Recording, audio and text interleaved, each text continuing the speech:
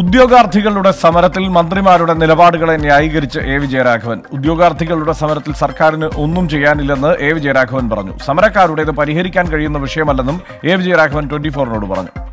സമരം ചെയ്യുന്നവരുടെ സമരം ചെയ്യുന്നത് അവരുടെ ജനാധിപത്യ അവകാശമാണ് അതിൽ ആ ജനാധിപത്യ അവകാശ പ്രകാരം നടത്തുന്ന സമരത്തിൽ അവർക്ക് അവരുടെ മുദ്രാവാക്യം വേണ്ടത്ര ശരിയാണോ എന്ന് പരിശോധിക്കപ്പെടേണ്ടതുണ്ട്. കാരണം എന്താ?